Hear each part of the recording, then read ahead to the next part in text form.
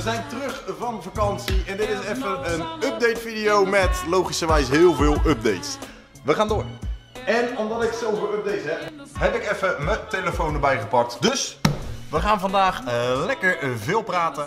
Eh, ten eerste natuurlijk het belangrijkste puntje dat ik terug ben van vakantie. Vandaar dat er dus geen video's online waren. Ehm, ik ga jullie wat vragen stellen over een nieuwe serie waar ik, ehm, waar ik mee aan de slag ga. Ehm, dan gaan we nog iets vertellen over een truckpool, een bierfust. En we gaan iets vertellen over een update van een nieuw toestel. Op vakantie heb je natuurlijk lekker de tijd om te denken. Dus ik zat daar in Griekenland met mijn drie dubbele cocktail, mijn biertje natuurlijk, even lekker te genieten. En ik denk, weet je wat? Laat ik eens even gewoon gaan zitten. Gewoon even rust, even ontspannen. En toen ik daar zo zat, lekker, een biertje in mijn hand, lekker gewoon aan het genieten, weet je. Het was daar een graad of 36. Eh, Lag ik daar in de zon en toen dacht ik, wat zijn nou eigenlijk YouTube-video's die ik graag kijk? En de YouTube-video's die ik graag kijk zijn vanzelfsprekend fitnessvideo's, maar ook ondernemervideo's. Alles wat met zakelijk, uh, alles op zakelijk gebied vind ik gewoon heel interessant. En ik dacht, weet je wat, als ik die twee nou kon combineren, dan kunnen we hier misschien op YouTube wel een, leuke serie maken. Het speelt al langer uh, in mijn hoofd, dat idee, om iets van een, uh, een ondernemersserie te maken. En ik heb echt al wat, uh, wat, wat vragen en wat topics in mijn hoofd. Maar nou is alleen mijn vraag aan jullie. Hebben jullie een vraag aan mij dat je denkt, nou Raymond, zakelijk gezien zou je daar bijvoorbeeld een video over kunnen maken? Als je nou zo'n vraag hebt, laat dan even natuurlijk een reactie achter. Ga je kijken of ik er wat mee kan doen.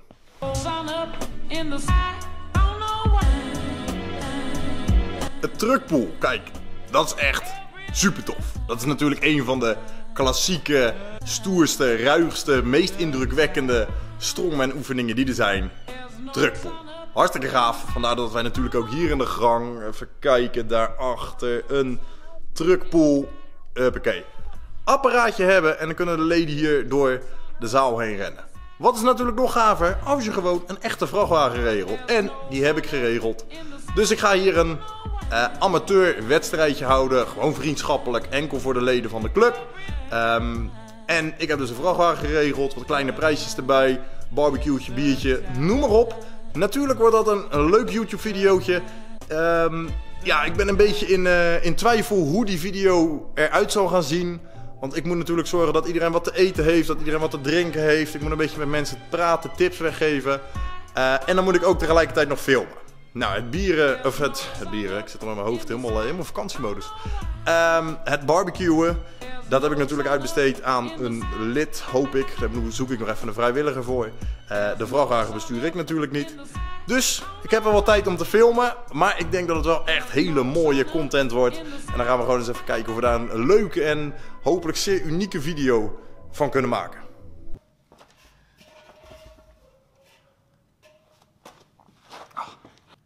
Zijn dit niet de twee schattigste bierfusjes die je ooit hebt gezien? Klein modelletje, liter of 30, 10 kilo, 20 kilo. Wat betekent dat ik weer nieuwe 50 en 60 kilo bierfust heb. En als je natuurlijk zo'n nieuw fust hebt van 60 kilo, dan moet je natuurlijk wel even laten zien hoe het moet. Of hoe het niet moet.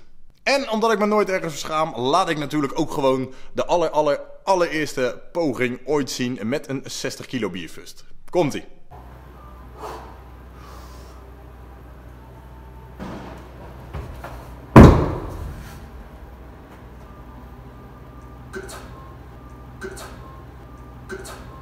Zoals je ziet ging dat niet volgens plan.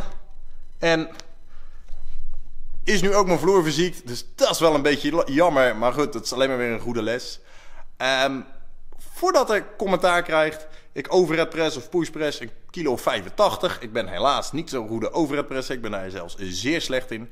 Uh, een 60 kilo biervest moet geen probleem zijn als ik met een 85 kilo uh, log press we wegkom. Um, er is alleen één groot verschil en ik zal uitleggen hoe dit komt. Kijk, normaal een bierfust van 30, 40 kilo, die clean ik van de grond af.